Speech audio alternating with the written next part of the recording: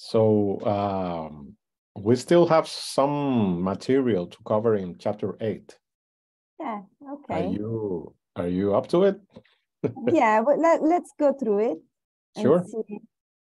Um, all right. Okay.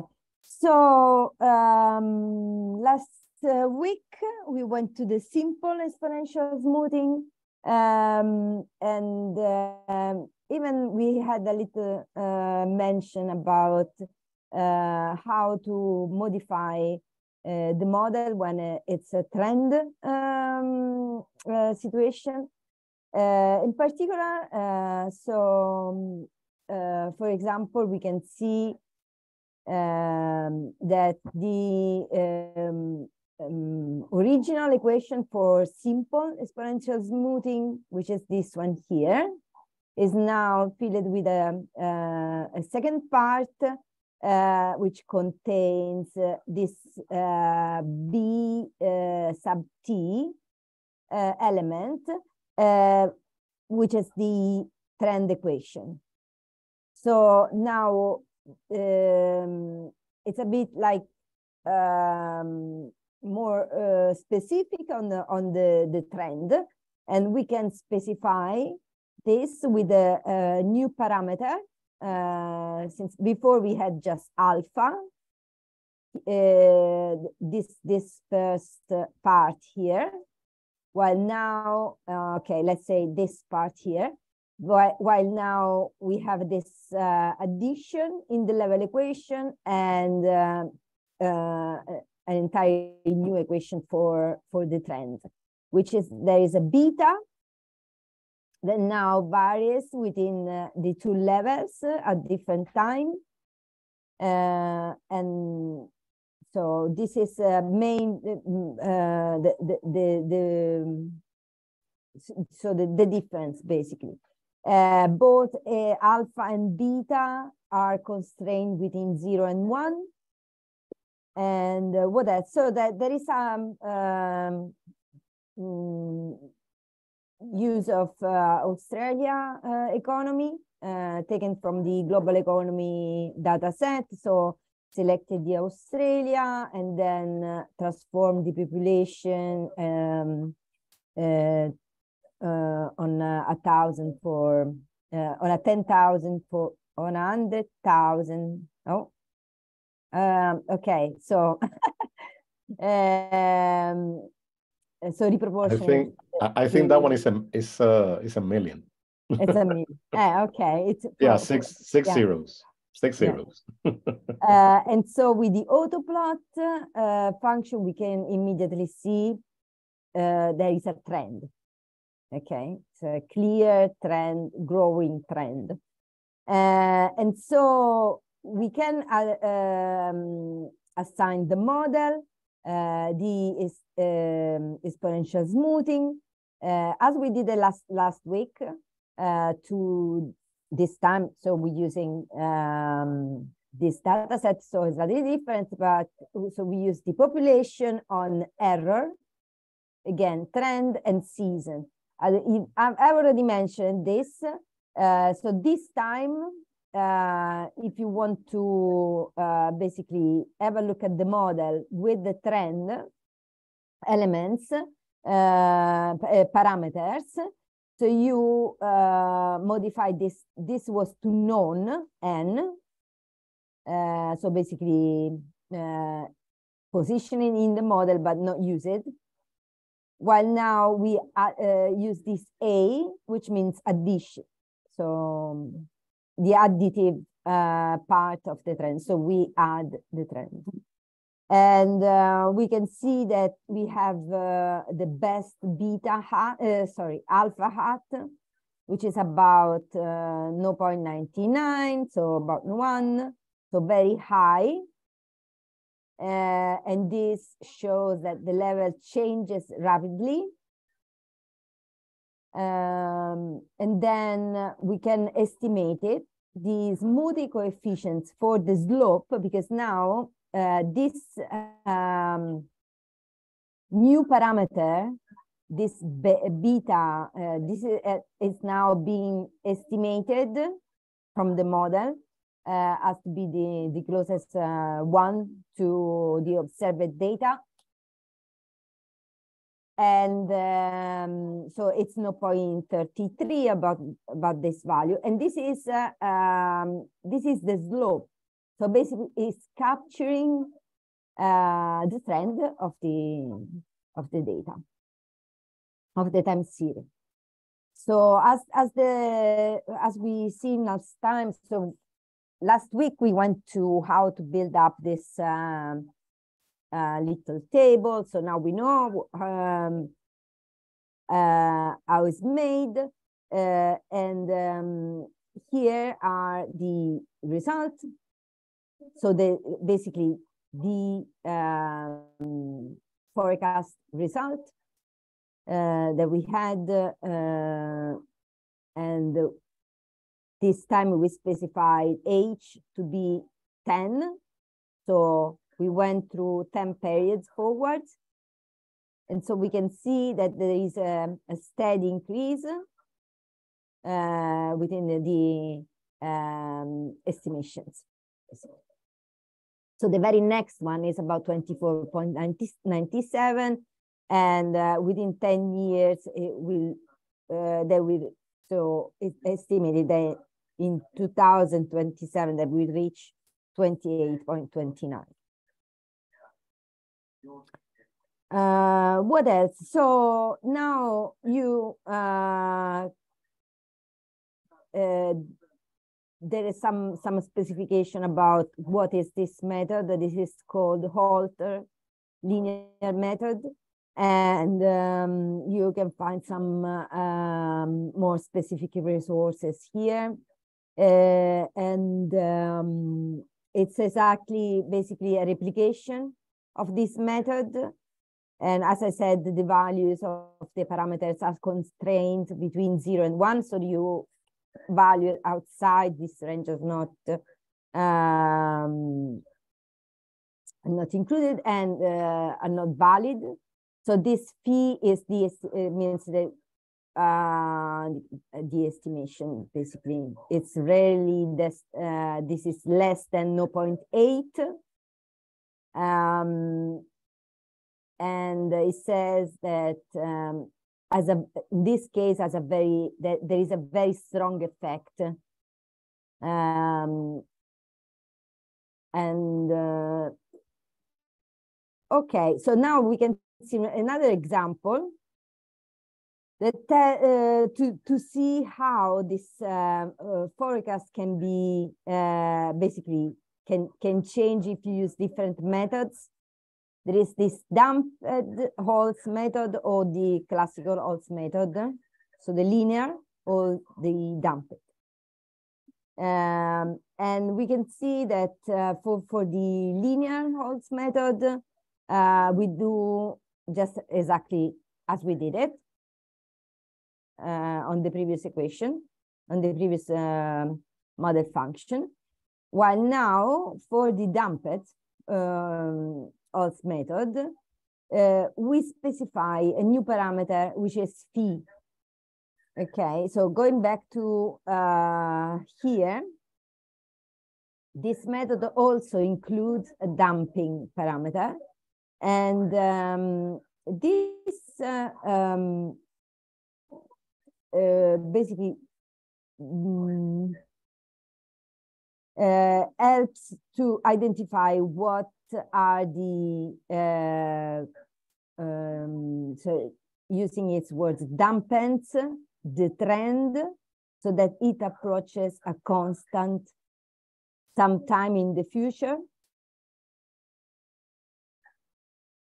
Uh, and so um, basically this phi is rarely uh, less than 0.8 and it has a very strong effect for small, small values. Basically, it goes to um, on the um, on modifying uh, the the trend using this um, parameter uh, to identify the small, very little small changes. And uh, one more is uh, we usually restrict this phi to a minimum of 0.8 and a maximum of 0.98. So um, also we have, we don't have A, just A, but we have this AD. Uh, and uh, then we repeat the things and this time we, we reach 15 years after the, the last observation. And we can see that the damped uh, method it's uh, grabbing a sort of uh, um, inclination within the towards the um, um, a more um, uh, steady level. So it's like um, going towards um, more stable um, level of the population over with over 15 years. So he forecasts that uh, there is not the same um, uh, steady increase, but it, it foresees a, a, um, a stabilization uh, in the long term uh, about the value that will reach the population in Australia. The, yeah, the amount of the, the population in Australia. Uh, ju yeah. Just, just, just a, a, a small comment here. Uh, that's very useful, especially for demographics, uh, you know, measures, because we know that usually the population, even though it grows steadily, the pace of growth could vary. Okay, it's not going to be constant.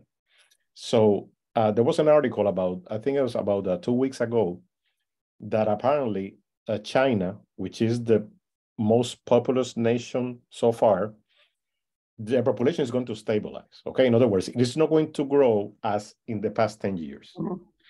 So this dampen, that damp uh, coefficient uh, phi, what it does is that it kind of introduces uh, uh, you know a, a, gradual a gradual uh, uh, trend to mimic what is uh, happening in reality.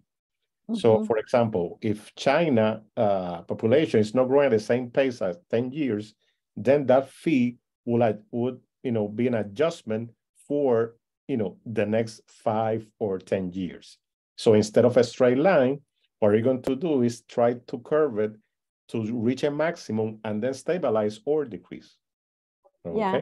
So yeah. It's, it's, it's kind of uh, adjusting the model to fit more of the reality of what we see in the real world. Mm-mm. Exactly. So, uh, okay, let's go forward and see uh, another example uh, with internet usage. And here we have um, like um, this this data set. Um, so we might want to um, jump into R to see, but anyway, so we just have a, have a look at this, uh, this stand for, for the minute um, and see that this is the internet usage per minute. So we have the, the minutes and the number of users. So you see that within, um, if, if they start using more like more than an hour uh, of internet, the, so this is the largest part and it's so quite so the majority of the the user in this data set uh, uses uh, internet for more than an hour and a half. Okay, uh, let's see. Um, we modify the table the um, to uh, to start at 10 and uh, apply the model. Okay, here we apply three models. Okay, one is the basic, the simple one. The, the first one, simple exponential smoothing. The second is with the linear Holt's, and the other one is the uh, without we haven't we don't specify the phi in this uh, in this one here, and we just like to see what's happening in the next period, just the very next one. And so results here, um, as you can see, um, the dumped Holt's method is best, whether you compare uh, the MA uh, or the RMSE values. So the RMSE values, for example, you can see that the dumped is, uh, so it, they, they, it's sorted automatically on the best one. So you can see that this is, this is lowest, the lowest value. So, and then as well for the MAE. Uh, mean absolute error, uh, so so um, now we can see the parameters. And to see the parameters, we use the tidy function on the on the fit model. And we see that the alpha is has been chosen as a, uh, the best alpha, uh, possible alpha for, for these observations. It's one, so ma maximum level uh, beta is uh, very close to its maximum level and um, the phi uh, it's uh, 0.8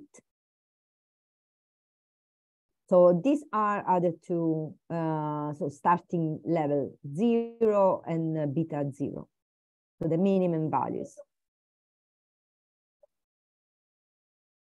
Uh, well, so we, we plot this and see that the uh, after um, two hours, uh, the, uh, the population of users start decreasing, but it varies. So it can be, yeah, most probably uh, they they they are less than than uh, what they were uh, within the one hour and a half or something, but uh, it's not said. So this this um, shadows like makes me make me a bit of like everything is possible basically. Okay. Uh, so what that so this this is um, so we have seen the trend we now go uh, to the uh, here that there's always a nice uh, uh, explanation by the authors so the 15 minutes uh, um, um, very so short and focalize on the on the section for about 15 minutes on, on youtube by, by the author so very uh, useful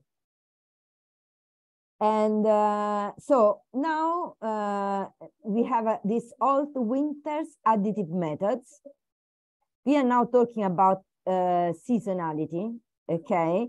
And um, so, the, as we mentioned last week, the difference between trend and seasonality. So now we focus on uh, um, more specific sec section of the, the time series which is can be quarterly data like m equal to 4 or monthly data m equal to uh, 12. Uh, we still have a, a level, uh, an alpha and a beta, and now and we have a gamma. Okay, and obviously a seasonal components. Uh, let, let's let's go a bit uh, so uh, otherwise we don't we won't be able to finish um, but um, it's, it's interesting to see that uh, if we focus on the very beginning of our um, simple exponential smoothing, we now adding uh, this b sub t, and we add again the seasonality within a specific specified um, uh, section of the in terms of times. Okay, we have a level uh, where is, there is alpha uh, and the beta, which at, um, I think um, uh, to to identify the trend of the seasonality and the, the seasonal uh, um, component, the seasonal component. So the seasonal component is now um, with gamma. So we have alpha, beta, and now we have gamma. Gamma, it's basically uh, use it to as a proportion for to make a proportion of the uh, observed values. So let's uh, go back to what we know. So when this is the level and we, uh, I mentioned that even here in the level, there is a seasonal component. So from our observations, we extrapolate seasonal components and how specifying if it's a quarter of monthly um, seasonal. And in the uh, seasonal component in itself, uh, it's um, basically extracted, uh, it takes, a, uh, it's a sort of a weight, okay, this gamma, that use it to extrapolate the, those little areas, those, those little part of the uh, time series that are uh, belonging to a season more than another. So, uh, and so we wait with this uh, alpha, uh, sorry, with this gamma and one minus gamma, as we did it with alpha and beta, the seasonal component. So we have the entire time series minus each piece of the season that we we take off and we go back. So uh, obviously now we need to restructure the um, length of time on which we forecast, uh, which is not an entire period, but it's a section of the period. And this section is, uh, this is just uh, uh, algebra, um, mathematical formulation to, to say that this is uh, um, uh,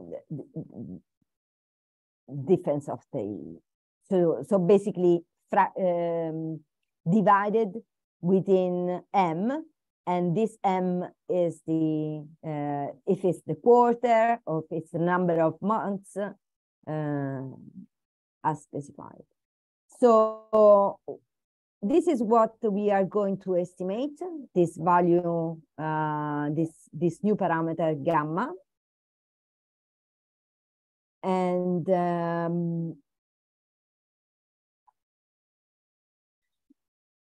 um, what is worth to mention is that again, gamma, new, the estimated gamma will be constrained within zero and one, but at the same time, it would be between zero and one minus alpha. Okay, so this is the additive method, while the multiplicative method is slightly different because it basically uh, increase the chance of happenings instead of uh, um, more than increase, uh, when you multiply in um, uh, probability calculus, you consider more than one alternative. While when you adding things, when you adding section of um, trends, in this case for probability, you um, have an overall um, value of the probability. So um, why when you multiply, it's one that happened or the other. So you consider both, but just one of the two can happen, basically. So they multiply all the period, but then they choose one. Okay, uh, what else? So additive. Oh, uh, Federica, yeah. I found a, a chart on how to identify when your trend or your seasonality, you should use additive or multiplicative. Okay. okay. Uh, let me show you because it's in my screen. Okay. I stop sharing. Yeah. Let me share it real quick because this is something that usually, uh, you know, is kind of confusing. Okay. Can you see it? Yeah. My screen? Okay. So uh, when we talk about additive, okay, is that the progression of the trend or the frequency of the seasonality is constant, okay? So you can add the, you know, the, the, the trend pattern or the seasonal pattern, a pattern in a constant, you know, with a constant formula. What happens with the multiplicative, okay, especially in the trend, is that instead of going through a line, it, it, it has like an exponential component. Okay, so instead of an arithmetic, uh, you know, uh, a progression, you have a geometric progression. Okay, and that's what is called multiplicative, because during the patterns of time, the periods of time, the change is going to be a little bit bigger. Okay, instead of a constant of, of, of, of you know, of, of a constant uh, pace. In the seasonality, what happens is that the seasonalities in the multiplicative get bigger. Okay. And it's associated also with the variance uh, component. You know, when the variance gets bigger and it's a seasonal pattern, then we we say that the seasonality, uh, you know, uh, form of uh, of uh, increasing is multiplicative. In other words, geometric also. Okay. So uh, let me let me share. I'm going to share this uh, link uh, in the chat so we can have that reference because this uh, link explains in a very concise manner. It explains all all those methods that you're explaining in the book. It explains in a very concise manner and with graphs, of course. Okay. So let me get the chat here. Okay, this is going to be the, the link. Okay, but again, additive is that we have a constant uh, pace of, of, of the changes of trend and the changes in seasonality. When we talk about multiplicative, is that the trend is kind of exponential. In other words, is growing at a geometric uh, way uh, through time. And in the seasonality, the seasonality is getting larger by time. In other words, it's not constant. And that's what the multiplicative methods tend to, you know, tend, tend, tend to be applied to when it's not, when those patterns are not constant throughout time. If they are constant, then we can use the additive. All right. Okay, so basically that's what the difference between the additive multiplicative. Okay. Okay.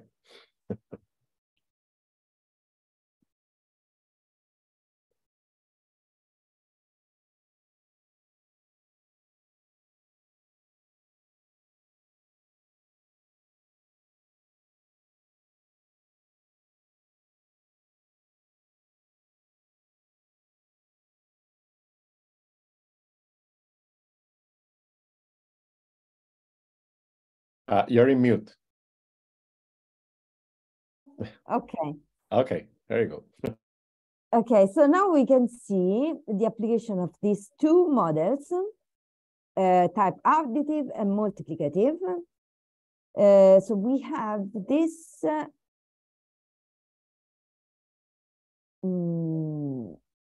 time using uh, the tourist data, uh, again in Australia, uh, and uh, so we have the number of trips. Okay. Uh, the additive is additive everywhere. So we can consider error, trends, and season as additive. So full additive. And now in the multiplicative, uh, we don't consider trend as a multiplicative. And uh, while the season and the error are So we forecast within the next, uh, for, for the next uh, three years. And we see that the results are, so we can, in, this case, apply both of the methods. And we can see that there is a, uh, a little difference, very little difference within the two. And this is why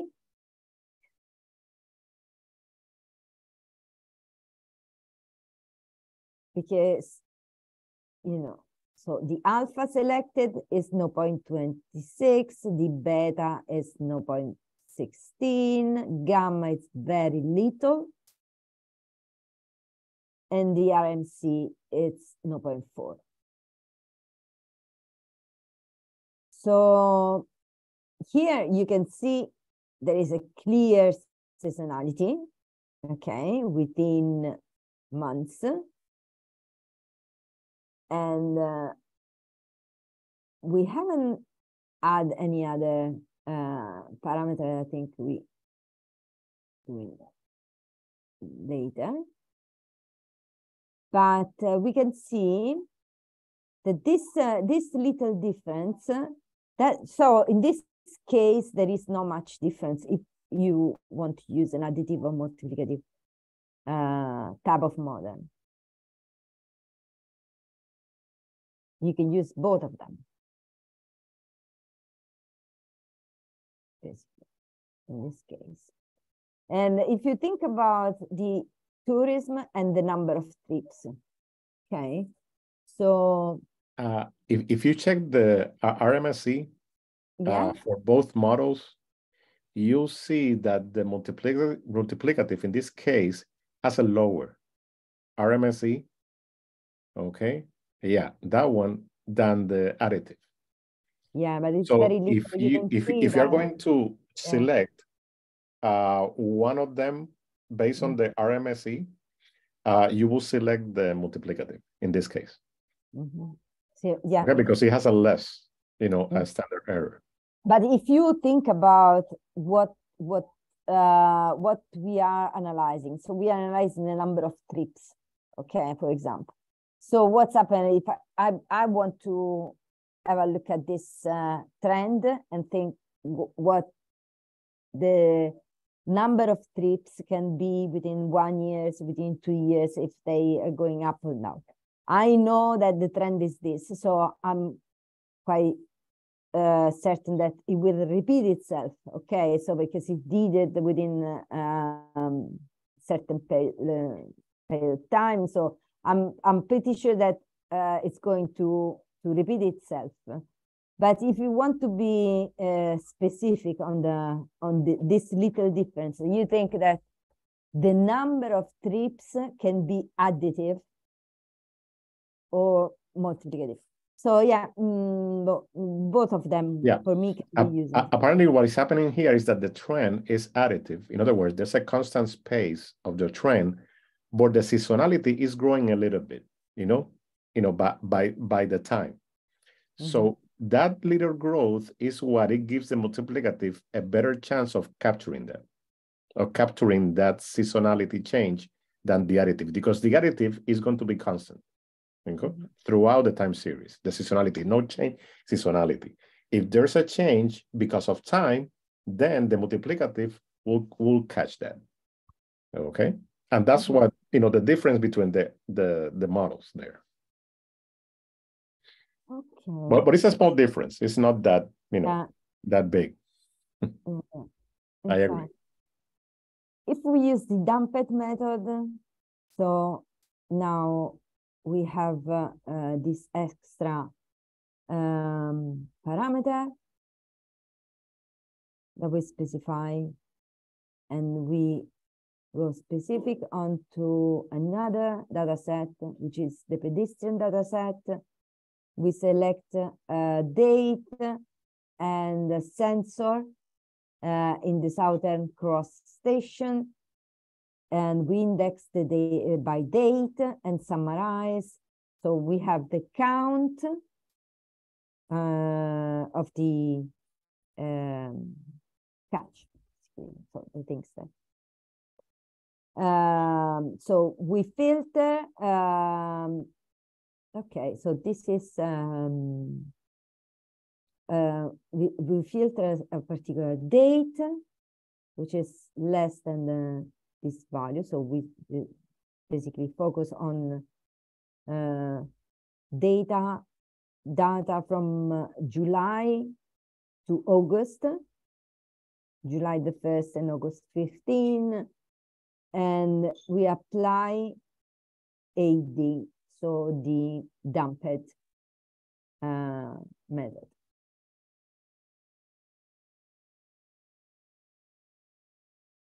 And um, so both of them are multiplicative in this case. And uh, forecasted within two weeks after the last observation available. So that we set.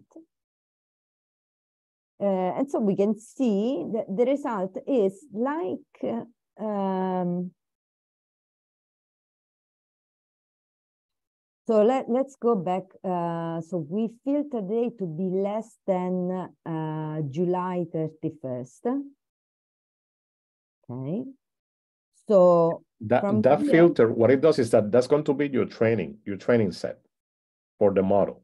Okay. Uh -huh. All the observations before uh, July 31st, 2016 and backward, that's going to be your training model.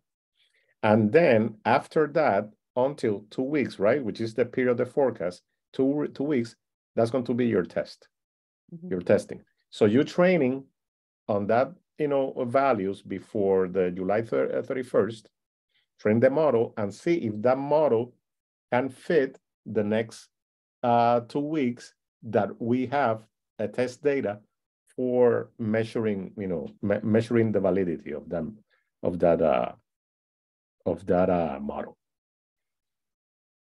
And so we can see that the, uh, let, let's take this bluish uh, uh, line, solid line, which is, uh, uh, let's say the, the, the, the most, um, the average estimation of what it, uh, the model has released basically.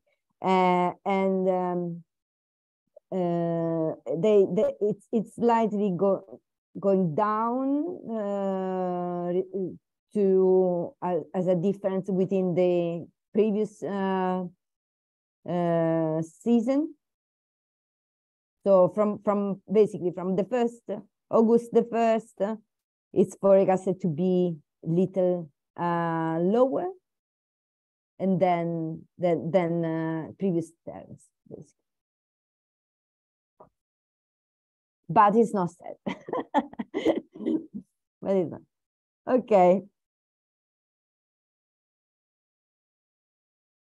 Uh, I don't know if you want to um, add something or uh, take the the if you want to go forward from here maybe or something. Um, here we talk about the uh, a bit more specific explanation of what's happening when you apply a model. Okay, so we have uh, uh, simple, additive, and multiplicative, and and the damped. So you can see the the um, uh, what you have what you use inside the model function basically. Um, that's the way, uh, if you can go back to the table, okay? Uh, this, uh, this, this, this is the ETS, right? Error, trend, and seasonality using exponential smoothing, of course. Mm -hmm.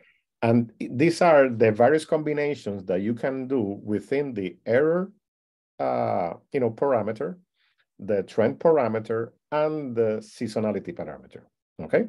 So when we started uh, talking about simple exponential smoothing, we did it without considering any trend or any seasonality, right? So those were n. Okay, we're, we're, we're using the same method, but discarding the trend, no trend equal to n, and also discarding the seasonality. just focusing on the smoothing parameter, which is the error. All right. Then you can do uh, additive to each of them. You can do multiplicative to each of them or a combination as we saw in the previous chapter that we saw a combination of multiplicative for error, trend additive, and then seasonality multiplicative, or there could be, you know, different kinds of combinations. All right, so the model is very flexible in terms of capturing uh, the trend, the seasonality, and different parameters that you can adjust to capture the most of it. All right? Okay, so we can go forward and see there's some some innovations uh, um, and what let let's um, so see that I'm not sure about this um, this thing. Would, would you like to add something about these things? Saying um, this is uh, specific about yeah, this talks about the assumptions for the errors. Okay. So, uh, for, example, like in like in regression, like in uh, you know ordinary regression, uh, we know that the residuals, in order to have a valid model, they have to be the residuals have to be in independent distributed, you know, Gaussian distributed. Uh, they should have constant variance, etc. So we are applying the same concept here in terms of the innovation uh, residuals, in terms of the errors. And the errors, because this is a regression model, okay, is is, is really a regression model. The only thing that we have the weights, right? The weights of alpha, you know, for the errors, the the the beta for the trend, the gamma for seasonality. Those are weights, really. So what happens is that those residuals from these models they have to also uh, comply with those assumptions. Okay, so one of the assumptions is that they should be independently uh, distributed. Okay, that they, that they should be random distributed. If we have something that creates a pattern or creates a lag, for example, in the residuals, then the model is not capturing all the information that it should be. All right. So this is more like a post you know, post uh, evaluation test using the residuals as we do in ordinary linear regression. Yeah. That's basically the summary, you know, here. Yeah. And that's why you see that uh, epsilon, which is the error, you know, the, the epsilon uh, sub t, NID, normally independent distributed, okay, with mean zero and, you know, constant variance, okay? which is basically similar to what we have in ordinary linear regression. Yeah. So basically, the this is uh, these are these are the um, observed values. Okay, where we consider to have some residuals uh, within. Uh, so we then now when we apply the model, we uh, estimate the, the parameters, and so this is the starting point those are um, um, uh, uh, the observe these these are the observed values uh, and they are expected to be composed of these uh, parameters included uh, the residuals okay then we estimate when we apply the model we estimate these values so they then hat they have a, in half. Okay, so th this is basically um, mathematical uh, formulation for for you to uh, basically understand the location. Um, so where where uh, how the residual act uh, within your observed data, and they are expected to be um, in proportion of, of the other parameters. And so the, this is a mathematical notation uh, for the, reassuming everything. Um, okay, so now uh, there is a, um, a bit of discussion about the estimation of the models. the likelihood and so the probability of the, the, the data uh, when you select a model more than, than another. And obviously, as you said, we assume that the residual are normally distributed and so on. So let, let's say that we know, let, let's give it for, let's, for, that we are, um, we know that what is um, the, the basis of uh, a model, basically.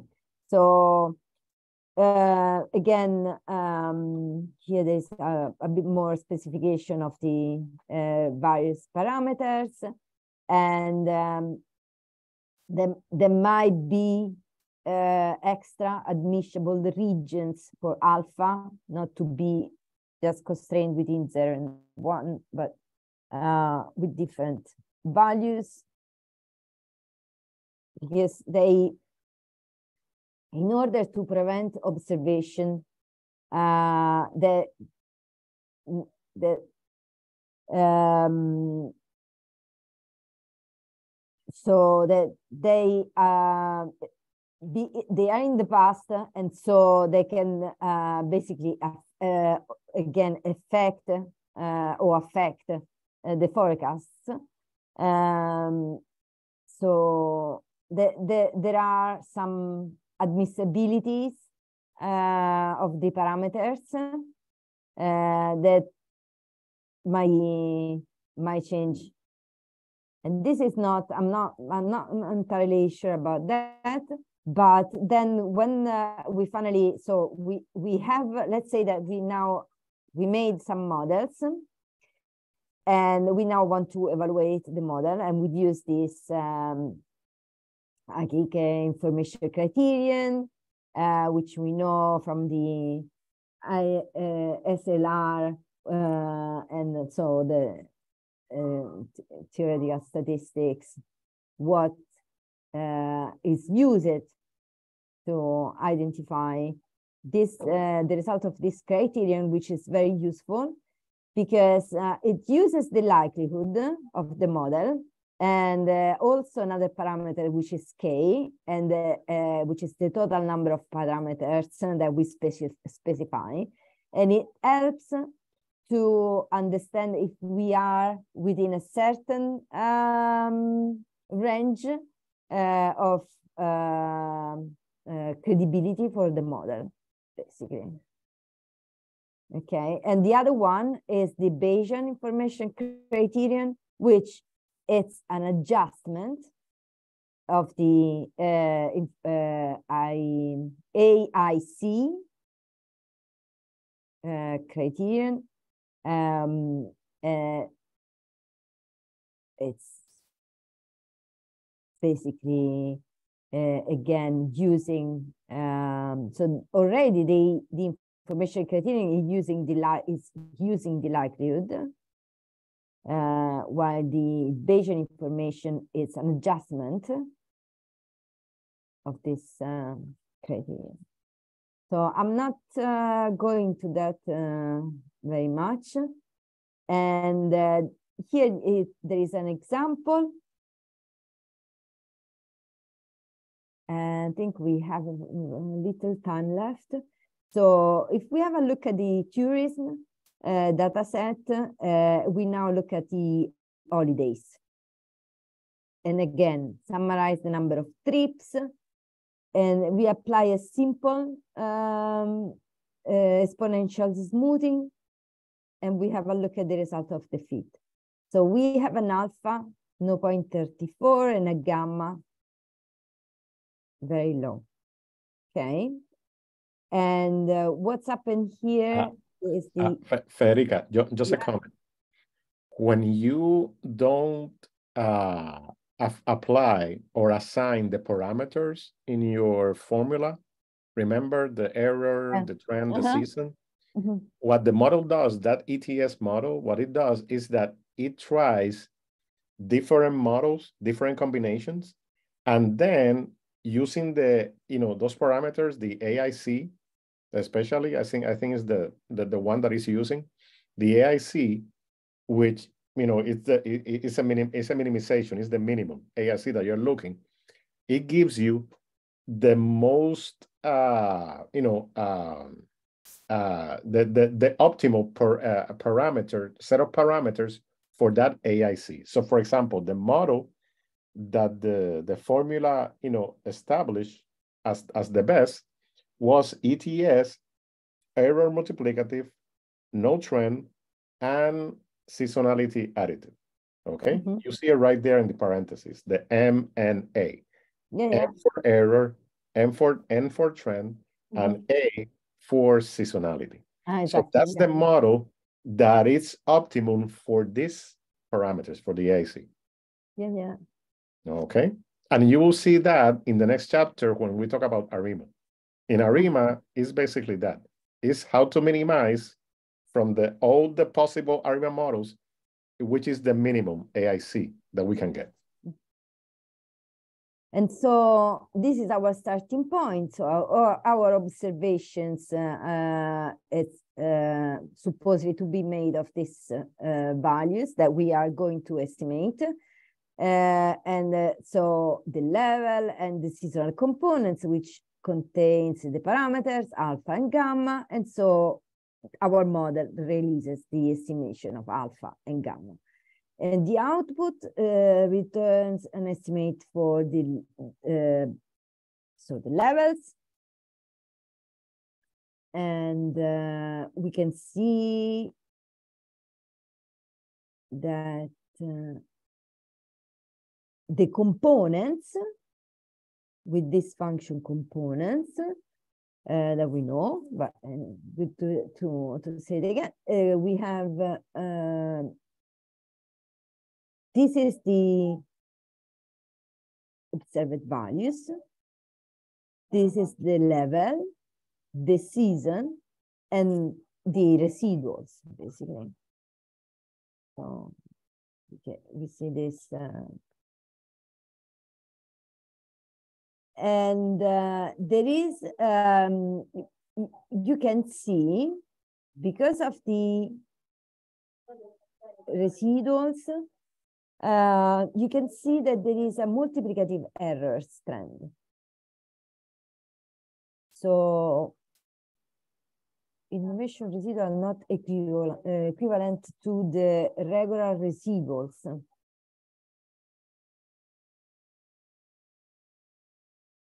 Okay. So you can see it. You can see the difference in the in in the scale in the chart. Mm -mm. Okay, the innovation yeah. residuals are between minus 0.1 and 0.1, while the regular, which is just the YT minus the Y hat, okay, the, the, the fitted value, is, is between minus 1 to 1. So yeah, they, they, they, are, they, they, they, they, are adjusted for the multiplicative. Okay,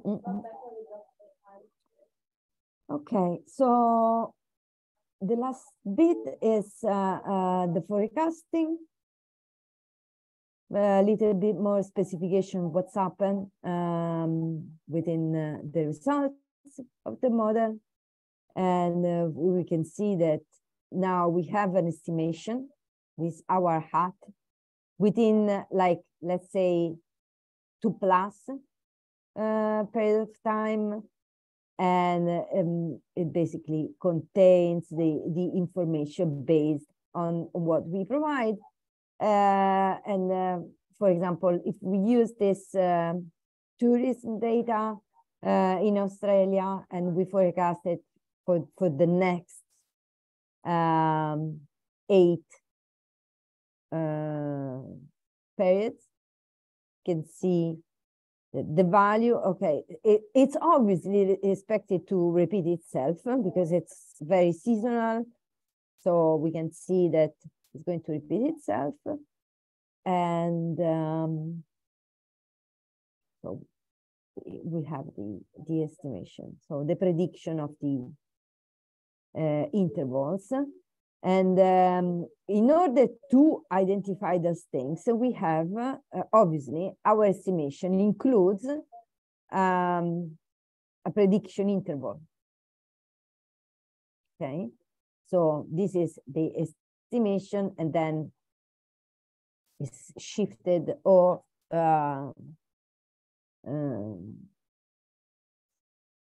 and um, so I don't think this this is um, so we basically use the forecast function and here are all the mathematical notations what's happened when you apply a model with additive no uh, and only additive or uh, error additive or error additive trend additive or you know damped and so on and so forth. So you have a little uh, idea of what uh, how the uh, variability uh, it's calculated considering the various parameters yeah okay so i think we finished uh, chapter eight there's just just just one one item missing, and it's that you know we always do the practice exercise, right? Yeah. So now we have all that theory that we have you know ingested in our system. Now it's time to apply. For so for the next session, we will start applying that theory to the exercise 8.5. 8.5, okay, which also uh, deals with the global economy. It deals with the exports, and you can choose, you know, a country. As a matter of fact, when I did the exercise, I chose uh, Italy. okay, so we can we can be in the same, you know, in the same uh, uh, frequency. All right. So uh, ex excellent, excellent, uh, Federica. Thank you. Thank you. Uh, so yeah, let, let's start with that exercise, and then if we finish, you know, before, then we can start talking a little bit about the ARIMA, the yeah, yeah. language. Yeah, yeah yeah yeah which uh, arima is one of the foundations you know in, in in forecasting traditional you know forecasting okay. All right. So have a, have a great weekend and i'll see you next friday. Thank okay? you take care. Ciao